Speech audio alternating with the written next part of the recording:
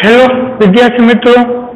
Good morning આજનો lecture શરૂ કરતા પહેલા દરેક વિદ્યાર્થી મિત્રો પોતપોતાની હાજરી પૂરી લેશે.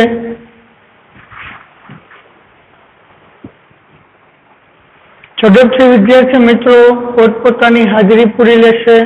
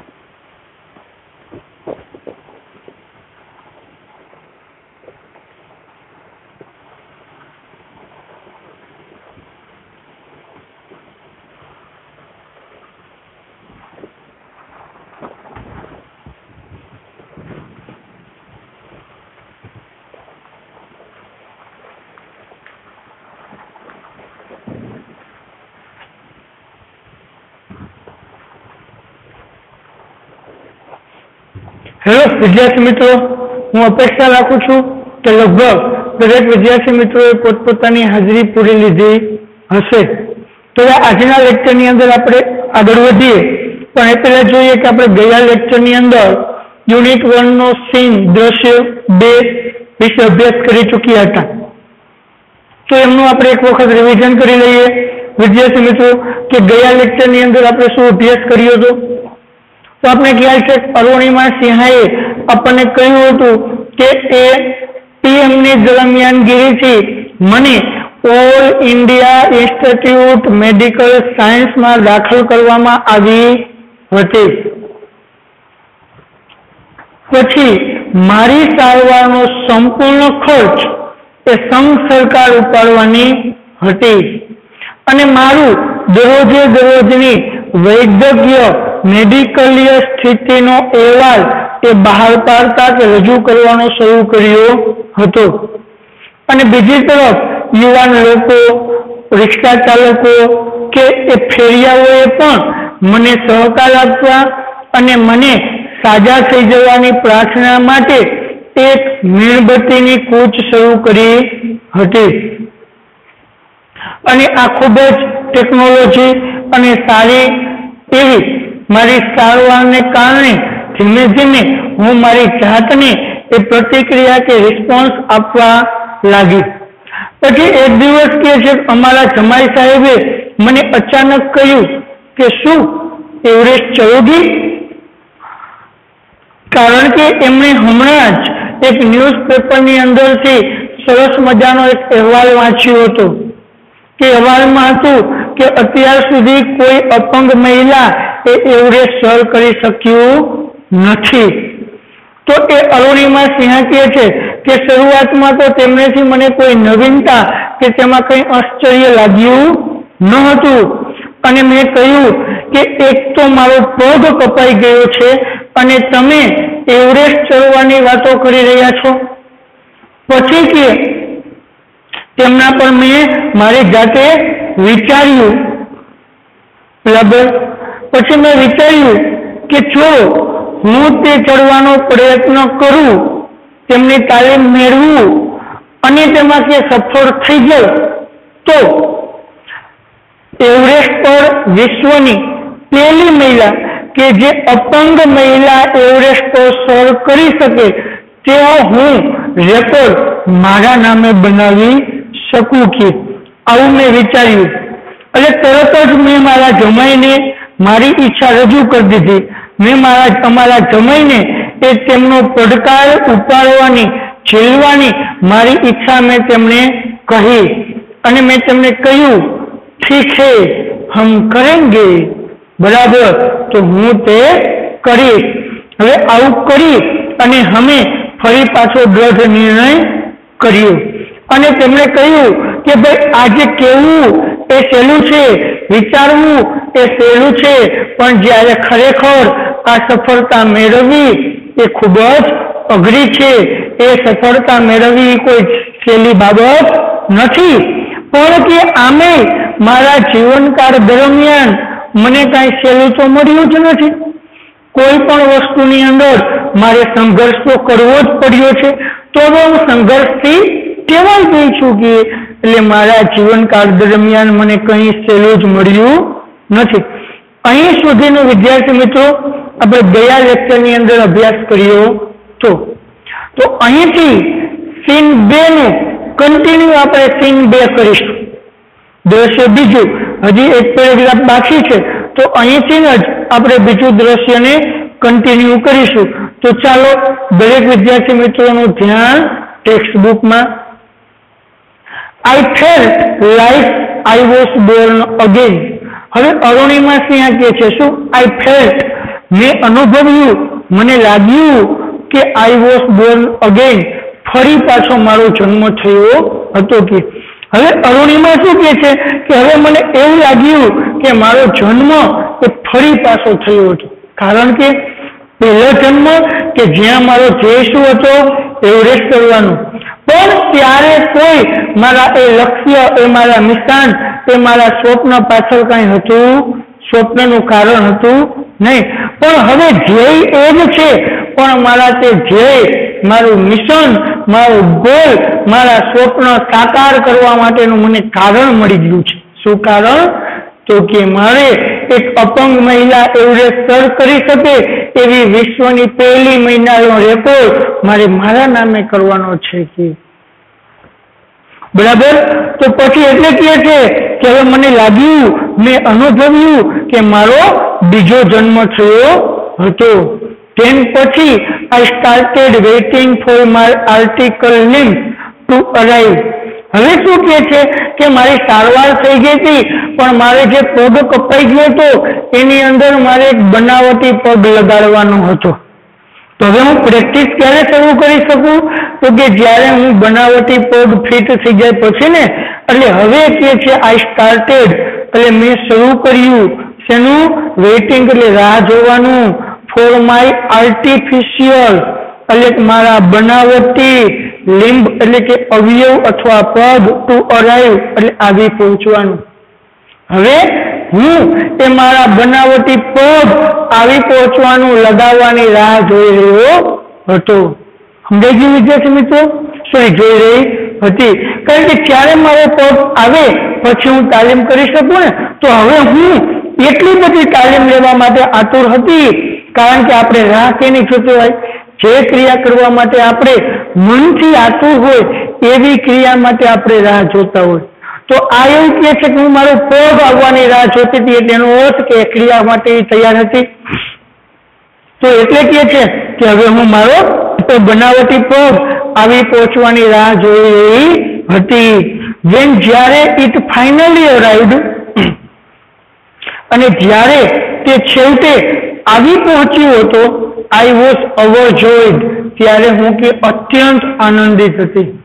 અને જ્યારે એ પગ છેવટે આવી પહોંચ્યો હતો ને, ત્યારે કે હું ખૂબ જ અત્યંત આનંદિત હતો કે, હતી કે. તો artificial leg felt almost like my real leg અને મારો આ આર્ટિફિશિયલ લેબ એટલે કે મારો આ બનાવટી પગ, એ ફેલ્ટ અને મને લાગતો હતો. તેના જેવો almost like my real leg બરાબર મારા વાસ્તવિક પગ જેવો જ. હવે આ આર્ટિફિશિયલ પગ સાથે પણ મને એવો લગાવ આવી ગયો હતો કે મારો એક સાચો રિયલ પગ હોય અને હું એમનો જે રીતે ઉપયોગ કરી શકતી, તેવી જ રીતે હું આ મારા બનાવટી પગનો પણ ઉપયોગ કરી શકતી. એટલે કે છે કે મારો આ બનાવટી પગ તે મને મારા વાસ્તવિક પગ જેવો લાગતો હતો. I could hardly feel the difference જો આઈ કુડ હાર્ડલી હું ભાગ્ય જ હાર્ડલી એટલે કે ભાગ્ય જ ફીલ એટલે કે અનુભવતો અનુભવતી ડિફરન્સ એટલે તફાવત. હું ભાગ્ય જ તેમના વિશે કંઈક અલગ અથવા તો તેમાંથી તફાવત અનુભવું છું. તો I had started falling in love with this stranger whom I was wedded for life અને શું કહે છે? આઈ આઈ હેડ સ્ટાર્ટેડ મને શરૂ થઈ ગયું હતું ફોલિંગ ઇન લવ એટલે પ્રેમમાં પડવાનું, વધારે લગાવ આવવાનો વિથ ધ સ્ટ્રેન્જર એટલે આ અજાણ્યા સાથે. હવે શું કહે છે લેખક? એટલે કે અરુણિમા સિંહા કે જે આ એક અજાણ્યો પગ છે એ અજાણ્યા સાથે મને વધારે લગાવ આવવાનું શરૂ થઈ ગયું હતું. કયો અજાણ્યો વુમ કે જેમની સાથે કે જે I was wedded for life કે જે મારો જીવન સંગાથી હતો. આ એક અજાણ્યો કે જે મારો જીવન સંગાથી હતો, એટલે કે મારો જીવન સાથી હતો. એટલે આપણે શું કહીએ જીવન સાથી શબ્દ કેના માટે વાપરીએ? કે જે આપણા જીવ, જીવતા સમય સુધી આપણી સાથે રહે. એને આપણે શું કહીએ? જીવન સાથી. તો આ અરુણિમાનો પગ પણ એ તેમના માટે શું બની ગયો હતો? જીવન સાથી. કે તેમનો રિયલ પગ તો કપાઈ ગયો હતો.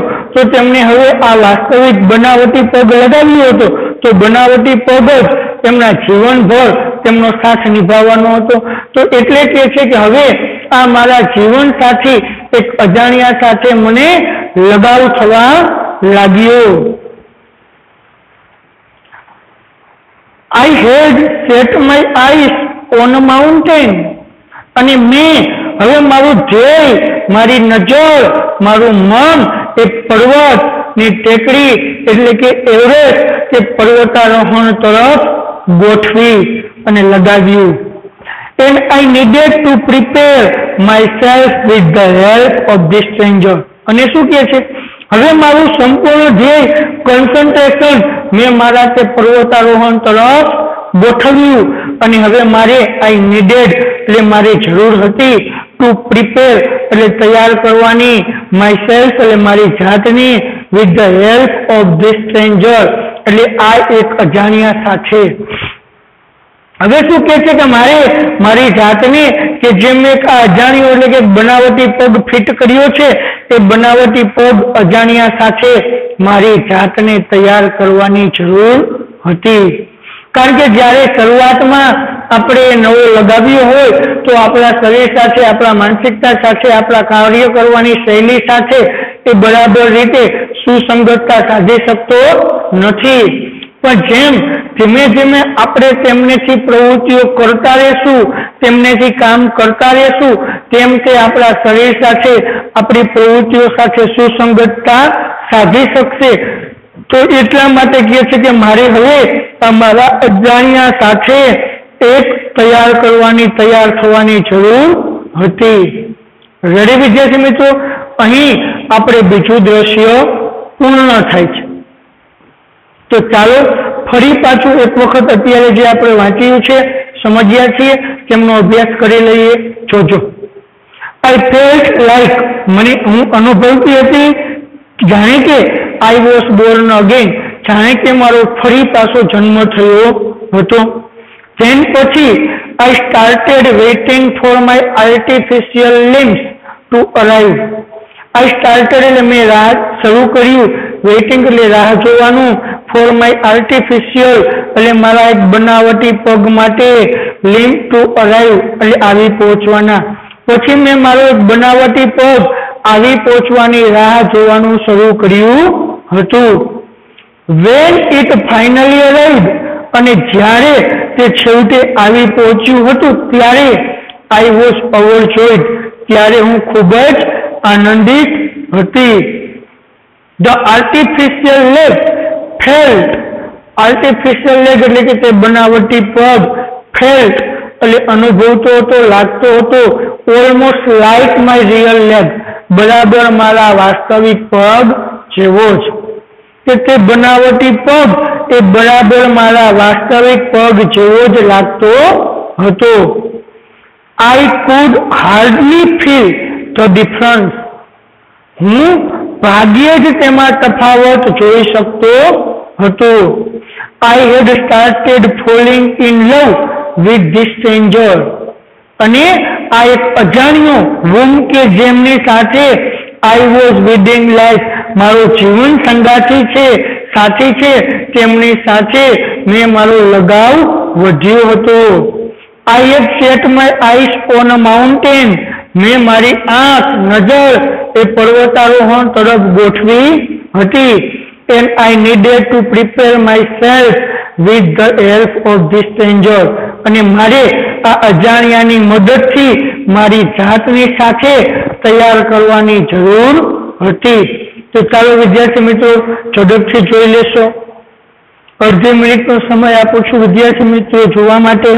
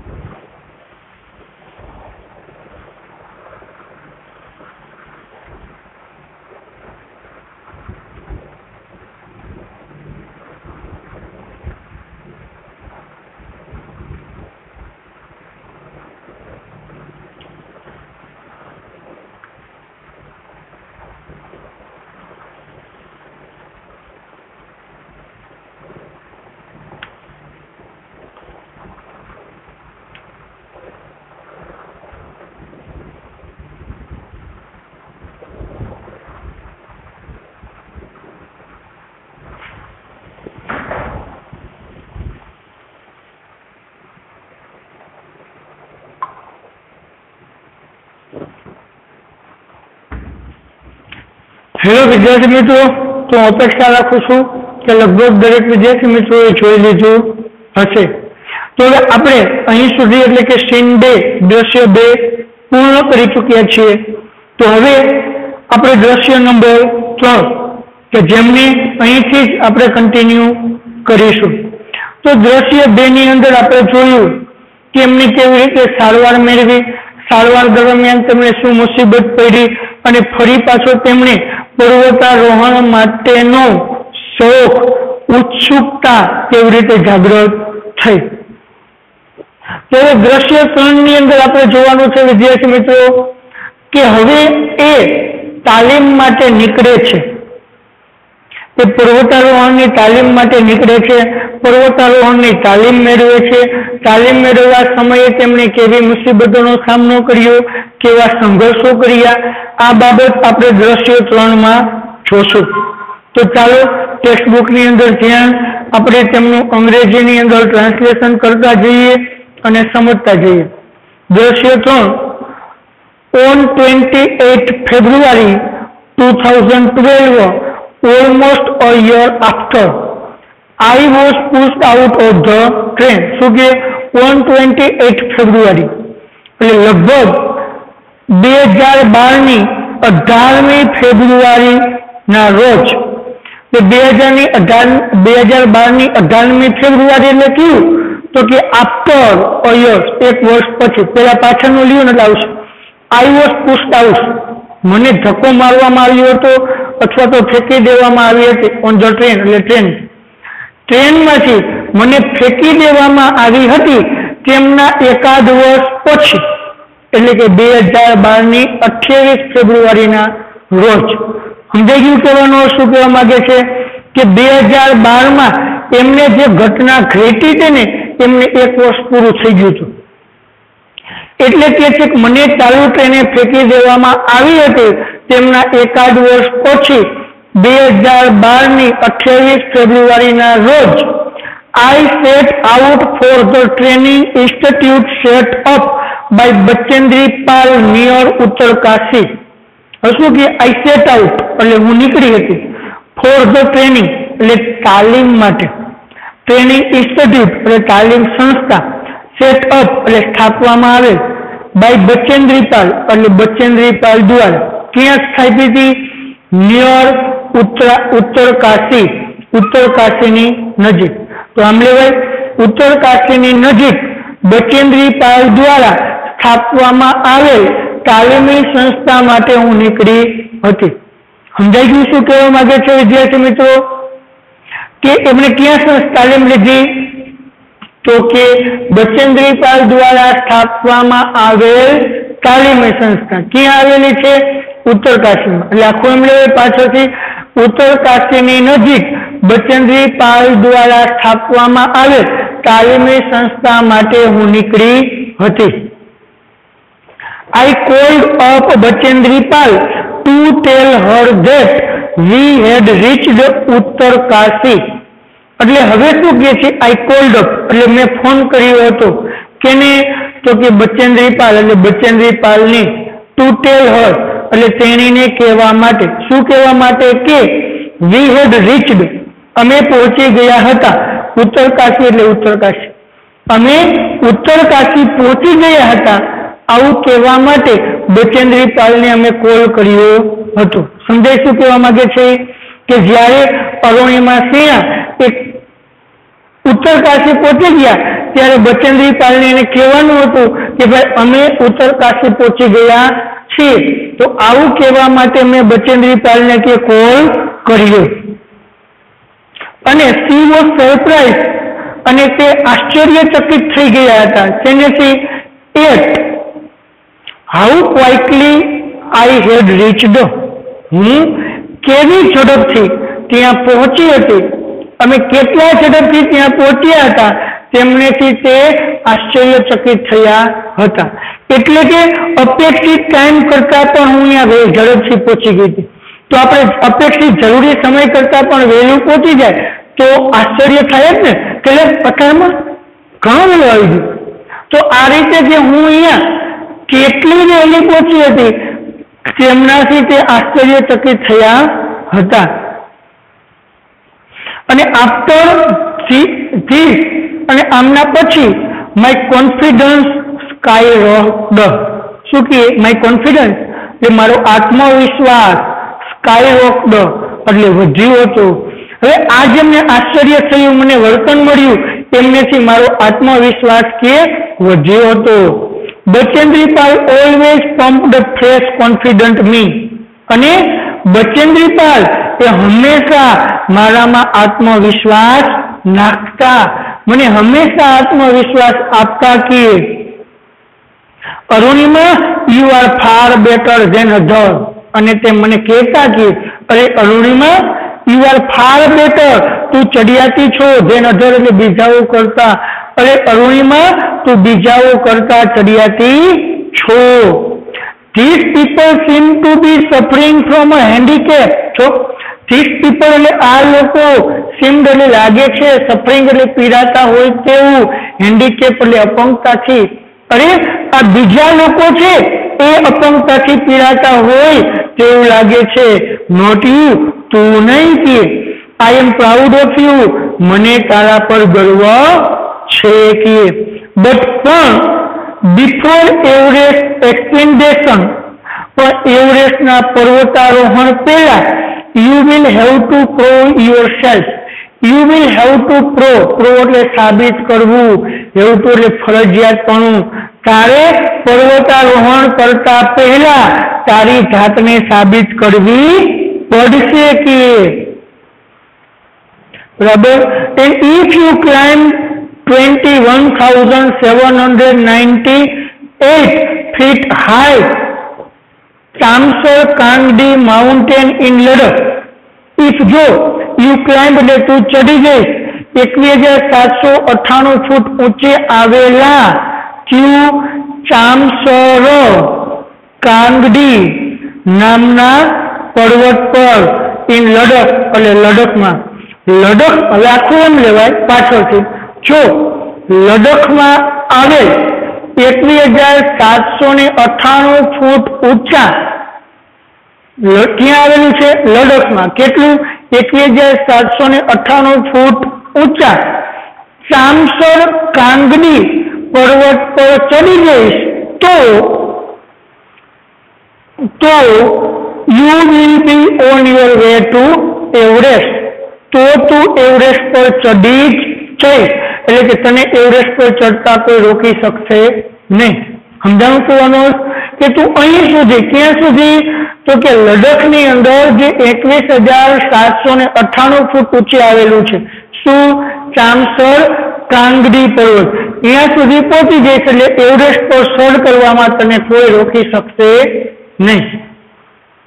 રેડી વિદ્યાર્થી મિત્રો? તો હું અપેક્ષા રાખું છું કે લગભગ દરેક વિદ્યાર્થી મિત્રોને સમજાઈ ગયું હશે. તો ચાલો ફરી એક વખત રિવિઝન કરી લઈએ.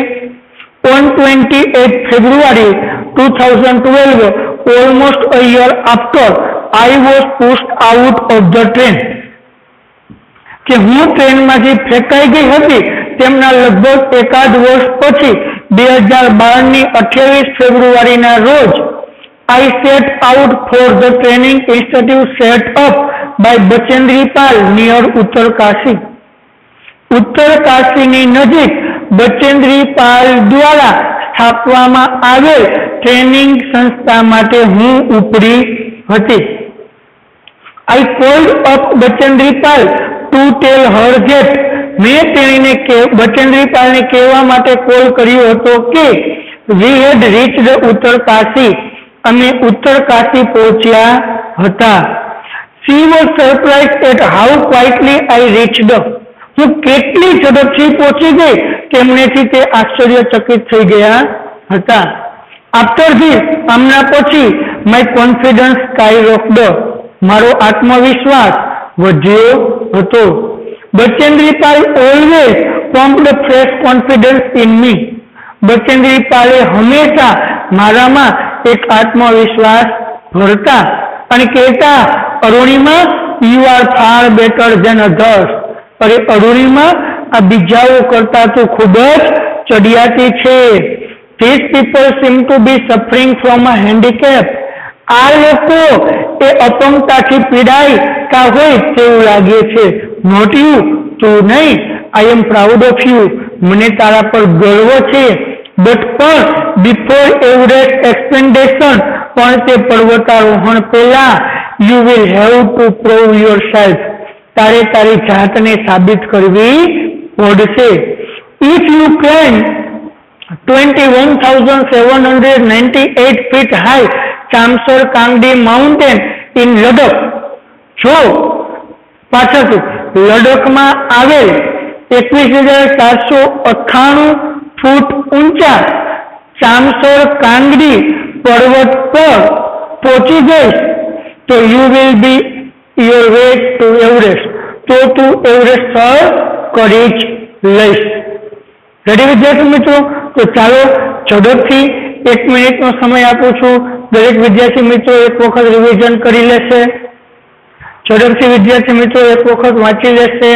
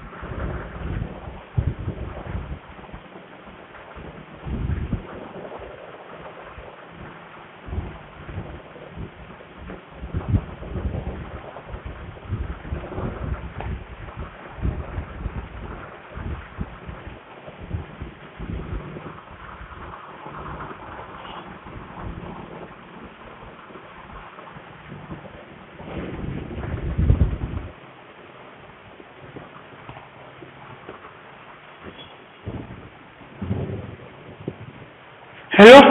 તો વિદ્યાર્થી મિત્રો, હું અપેક્ષા રાખું છું કે લગભગ દરેક વિદ્યાર્થી મિત્રોએ જોઈ લીધું હશે. તો આજે આપણે સીન બે પૂર્ણ કર્યું અને સીન ત્રણ કે ત્રસ્ય ત્રણની અંદર થોડીક વસ્તુ વિશે આપણે સમજ્યા. તો આજનો લેક્ચર આપણે અહીં પૂર્ણ કરીશું અને અહીંથી જ નેક્સ્ટ લેક્ચરની અંદર ફરી પાછા આપણે મળીશું. તો ત્યાં સુધી દરેક વિદ્યાર્થી મિત્રોને જય હિન્દ.